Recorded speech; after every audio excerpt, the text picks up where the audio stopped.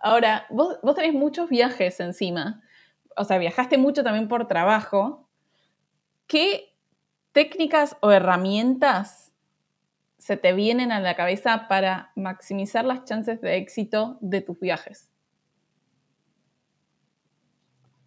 Bueno, técnicas o herramientas, creo que la primera es, o sea, googlear. Google es una excelente herramienta para poder planificar, eh, entender a, dónde quieres ir y qué es lo que quieres hacer ahí.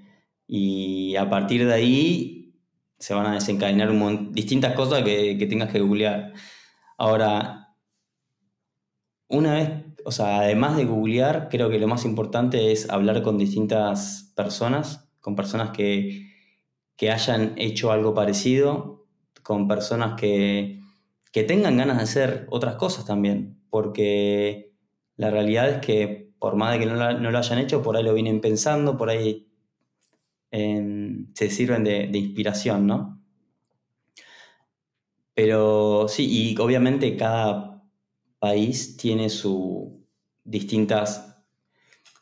A ver, si bien el nivel de problemática es el mismo, porque housing tenés, o sea, tenés que vivir en algún lado y bueno, vas a buscar entras en Airbnb, pero después cada país tiene su propia plataforma que es más local para poder elegir un apartamento, por ejemplo.